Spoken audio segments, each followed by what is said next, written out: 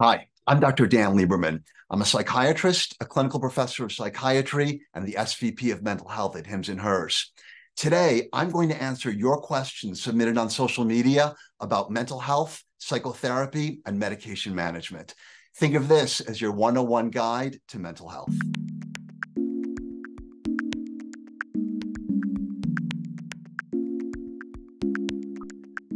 Psychotherapy is talk therapy, and yeah, it can be a little bit scary. In the beginning, you're sharing your deepest thoughts and ideas with someone who is really a stranger. But psychotherapy can be a wonderful experience. What's special about it is you can tell your therapist almost anything, and there's no judgment, no consequences. When you're in therapy, you talk about your deepest ideas, your feelings, the things that are troubling you. And being able to talk about this in an open way, in a safe environment, can be transformative. Specific psychotherapies have been developed for depression, different forms of anxiety, social anxiety disorder, generalized anxiety disorder, PTSD, as well as eating disorders and other psychiatric conditions. Psychotherapy for many illnesses, especially when they're mild or moderate, seems to work about as well as medication management, especially if you have a good therapist when choosing a therapist, the single most important thing is that it's got to be someone that you feel comfortable with.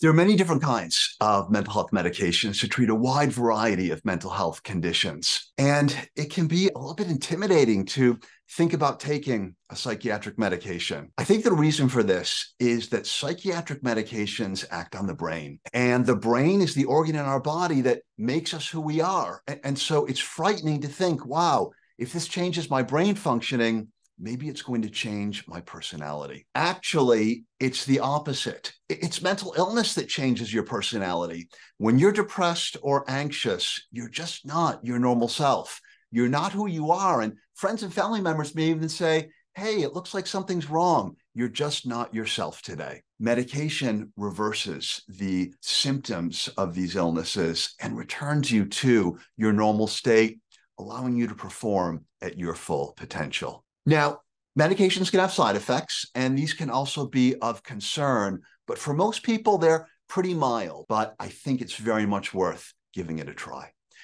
Because the brain is the most unique organ in your body, mental health treatment has to be very, very personalized. So it's going to be different for everybody. The most important thing is talk to a provider who knows about these things. They can work with you, talk about the advantages and disadvantages of each option, and decide which one is going to be best for you. Whichever one you choose, the most important thing is not to suffer in silence. There are great treatments for mental illnesses, and you should talk to a provider to find out what's going to be best for you. There's individual therapy, group therapy. You can do therapy in person or you can do it remotely. Among the most well known and best studied are cognitive behavioral therapy. That takes a look at potentially maladaptive thought patterns and helps you correct them. And when you correct your thoughts, oftentimes feelings and behaviors follow.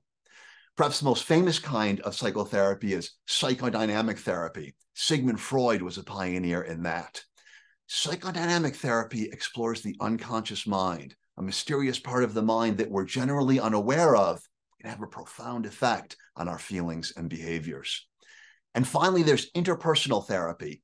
That examines a very important relationship in your life, looks at what's good about it, looks at what's bad about it, and works on optimizing it. Optimizing one relationship often has a domino effect and leads to better relationships throughout your life. There are a number of different classes of mental health medications, the most popular, most commonly used one being the antidepressants. Antidepressant medications work by modifying special chemicals in the brain called neurotransmitters, the most popular one being serotonin. Antidepressants, as their name suggests, are used to treat depression. They're also used to treat anxiety and some other mental illnesses. One of the most important things to remember about antidepressant medication is that it does take time to work. There are also anti anxiety medications. Now, it's important to note that the best anti anxiety medication is actually the ones in the class we call antidepressants. But we also have some that are specifically for anxiety, and they belong to a class of medications called benzodiazepines. Benzodiazepines have higher risks than some other classes of psychiatric medications. They can be addictive, they can worsen depression and anxiety. And a recent study even found out they may increase the risk of suicide. Now, they do have high risks, but sometimes their use is going to be appropriate. Usually, though, it's best to use them for just short periods of time.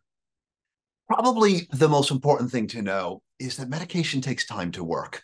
A lot of people will take it for a few days and say, geez, I'm not feeling anything, stop it, and never find out what this medication could have done because it actually takes weeks, sometimes even more than a month, to really do everything it's capable of doing. Another thing to remember is that all medications can cause side effects.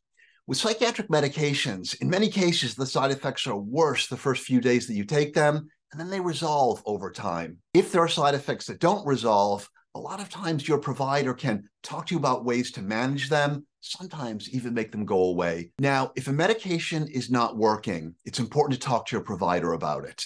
It may be that you need a different dose. It may be that you need a different medication. It can take some patience, but if you try medications until you find the one that works best for you, it can have a revolutionary effect on your life. Finally, it's important to remember that you should never stop a psychiatric medication without talking to your provider first.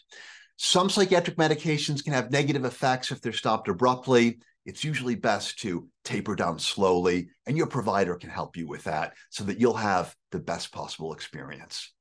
Thanks for watching. I'd love to answer any additional questions that you may have. Drop them in the comments. Don't forget to subscribe so you don't miss a single episode.